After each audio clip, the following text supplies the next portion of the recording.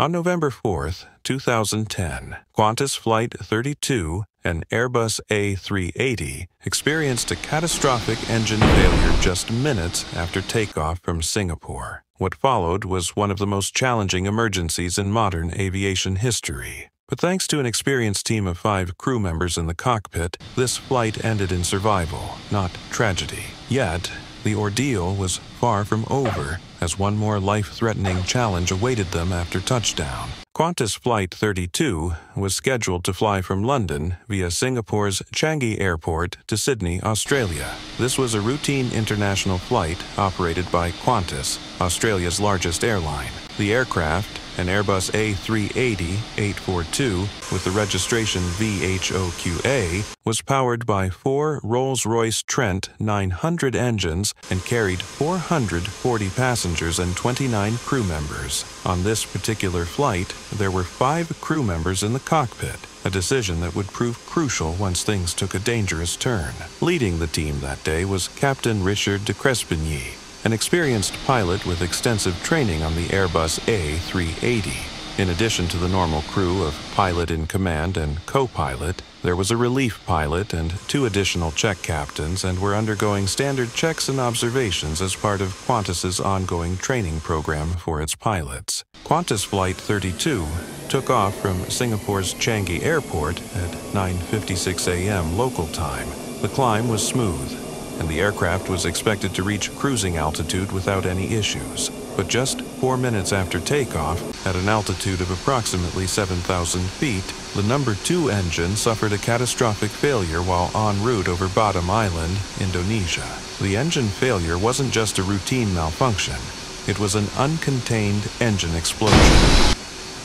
Inside the number two engine, a turbine disc broke apart violently sending shrapnel tearing into the wing and triggering a cascade of failures across the aircraft's systems. But what caused this disk to shatter? As we'll discover later, even a seemingly minor flaw can lead to catastrophic consequences.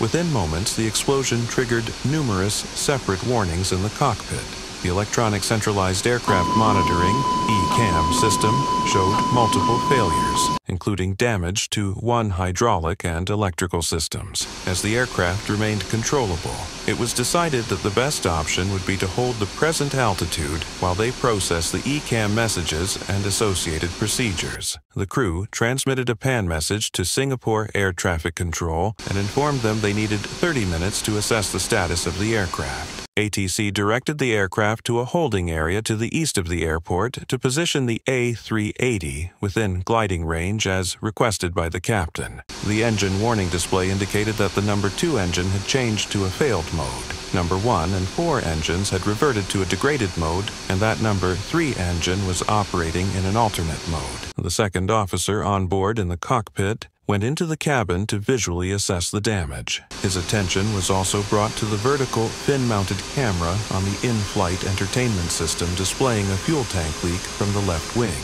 The crew elected not to initiate further fuel transfer, as they were unsure of the integrity of the fuel system, and in addition, they could not dump fuel due to damage to the fuel management system.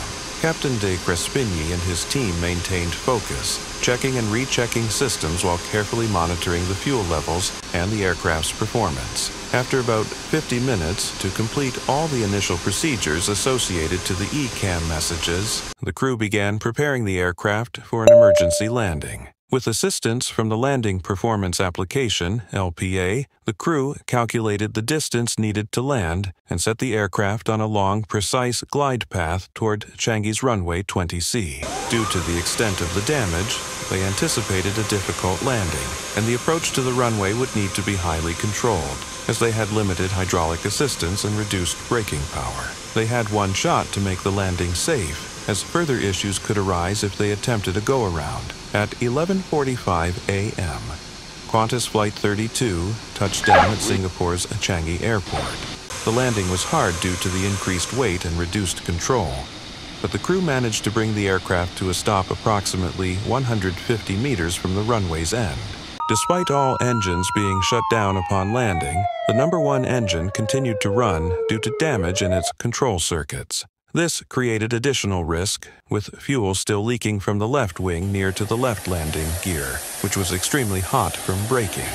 Before disembarking, the emergency services had to lay fire retardant foam over the leaking fuel. Passengers started disembarking about 50 minutes after touchdown. The number one engine was reported to have been shut down about three hours after the aircraft landed. Following the incident, the Australian Transport Safety Bureau, ATSB, conducted an investigation into the cause of the engine failure. The findings showed that a manufacturing defect in an oil feed pipe caused a fatigue crack that caused an oil leak, which eventually led to an oil fire in the engine. The fire led to a turbine disc overheating and disintegrated. Rolls Royce later implemented changes to prevent similar failures in other Trent 900 engines. What would you have done in the cockpit that day? Could you have made the split second decisions needed to save 469 lives? Let me know your thoughts in the comments below. And if you found this story gripping, give it a thumbs up and subscribe to Ghosts of the Sky for more deep dives into aviation's most unforgettable moments. Hit the bell so you don't miss our next video, because there are even more mysteries waiting to take flight. Thanks for watching.